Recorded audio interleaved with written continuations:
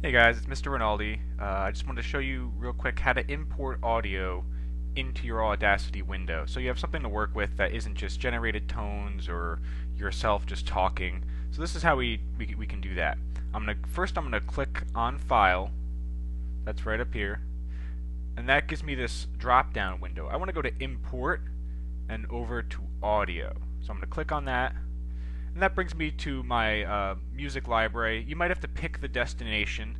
Um, I go here pretty often, so it defaults to my last selected file. So I go to, you know, I can show you the uh, whole file route if you'd like. You can see here I went from user, or sorry, no, local disk to users, public, public music, sample music. This is just music that was on my computer. And I'm going to pick this track, Kalimba.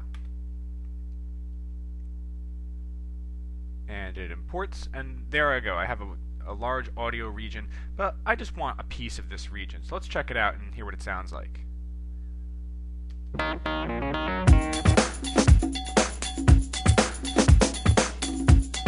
Alright so that's pretty cool. I just want that beginning piece though. I want to make it into a loop that I can use over and over again. So I'm going to click on my magnifying glass.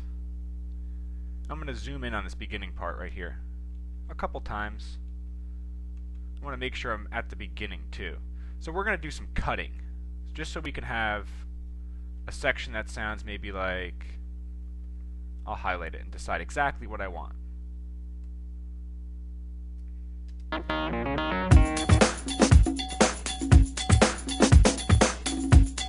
Alright, so that's pretty good. Let's see where the beginning should be. So I want that first beat right there, that bass drum beat. That's where I want to start this. So I'm going to hold down the shift key and use my arrow, my right arrow button to go over to the end of this, which I think is going to be right about here.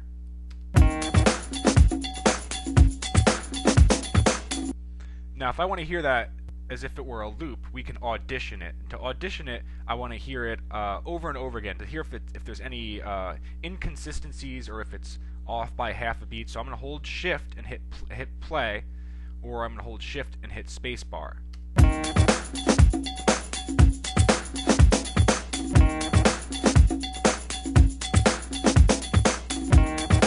Sounds like a little hitch in there.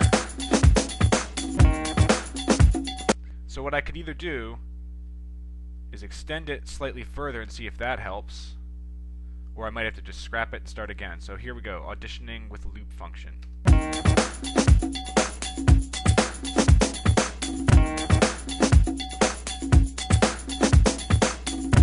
Alright, so something funky is going on here, not getting exactly what I'm looking for. So I'm going to zoom in on this problem part. So I clicked on my magnifying tool. I'm going to zoom in just to that part. So as you can see, I have it grabbed by, I have, or I have selected a large part of the waveform. I don't want that large part of the waveform. So again, we're going to go to the beginning, and you always want to choose in the, in the smallest amplitude section of the waveform. And I'm going to scroll over to about, it was just before 5 seconds. I could, I could look at that top bar and see exactly where I am in time. And we're going over to 5. So let's let's stop that right over here because there's a big spike in the waveform. That might be it right there. So let's try it holding shift, hitting spacebar.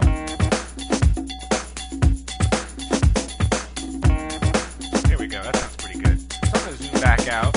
And I still have my magnifying glass selected. I'm going to hold shift. You can see that it turns to a minus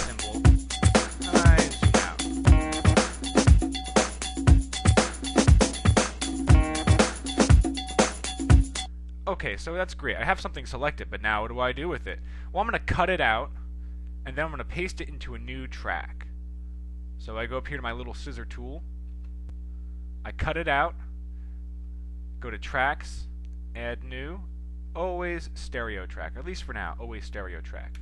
That gives me a new track right down here. Now I'm going to hit Control V on my keyboard to paste it, or I could click right here.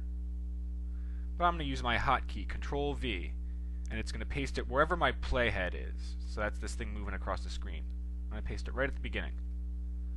Now what do I do with that other track? Well, I don't really want it anymore. I got what I needed out of it. I got my sample. So goodbye. Don't need it anymore. And I'm going to check out my awesome sample. Make sure it sounds good. So here's how I can sample that. I can just copy and paste that over and over again. Going to zoom back out. I'm going to bring my playhead to the end. Paste it again. Playhead to the end. Uh, paste it again. I can keep doing that over and over again. And uh, if I want to save some time, I can go back and copy the whole thing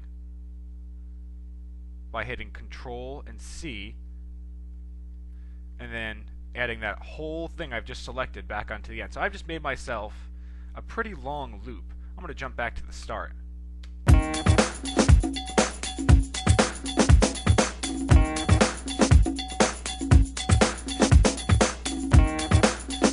Could have some fun with this too. We can slow this whole thing down. So I'm going to hit Control A to select all, go to Effects, and I'm going to change the tempo. Tempo refers to the speed of the music.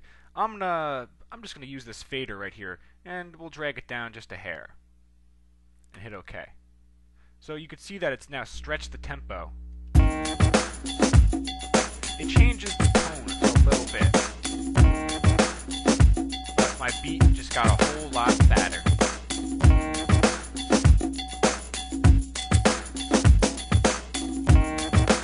So that sounds pretty good. I'm going to zoom way out. Make my zoom tool selected, holding shift. Zooming way out. So this is my whole audio region right here. I want to bounce this out and send it to an MP3. So all I do is hit export. And I want to choose a WAV file. You can also choose MP3. WAV is good though. We'll stick with WAV. And we hit save, and that'll bounce this out, and it'll appear on my desktop as a listenable MP3 or WAV file. And that's how you take care of that. So I hope this helped you, and I hope it was um, at least somewhat interesting. And I hope I hope to hear what you create with Audacity soon.